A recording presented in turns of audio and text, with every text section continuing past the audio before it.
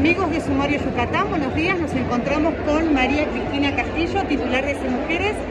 Te contamos hace un tiempito algo muy interesante sobre vivienda segura y están invitadas todas las mujeres de Yucatán a participar de esto. Cuéntanos, Cristina, brevemente de qué se trata.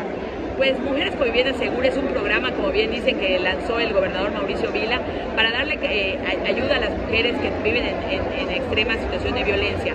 ¿Qué significa esto? Que le damos tres meses de, la renta, se da hasta 7 mil pesos en el, interior del Estado, hasta seis meses, y también se le da acompañamiento psicológico, trabajo social y por supuesto le ayudamos a que salgan adelante para que puedan estar libres de cualquier tipo de violencia. Es una atención integral que reciben.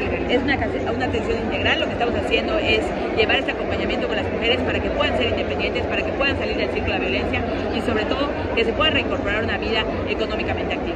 Sabemos que el tema económico puede ser, o creo que es, la traba más grande que hay para salir del entorno de. Es verdad, este, pues, el no contar con espacio seguro es lo que nosotros brindamos, pero también llevamos esta cercanía, este acompañamiento y sobre todo el que pues, se puedan incorporar a una vida económicamente activa. ¿Dónde pueden, esto no tiene eh, límite, podemos decir, ¿no? O sea, las mujeres se pueden seguir anotando. ¿A dónde pueden anotarse? Pues en, el, en la C Mujeres, que es calle 14, en la colonia Miraflores, y el 23 73 11, ahí para pedir ayuda, este, para pedir informes, perdón, y ahí estaremos dándole si cuentan o si saben de alguna mujer que necesite, requiere este apoyo, por favor no, no, dejen, de llamar. Buenísimo. Gracias, Ceci, como siempre. Un abrazo, gracias.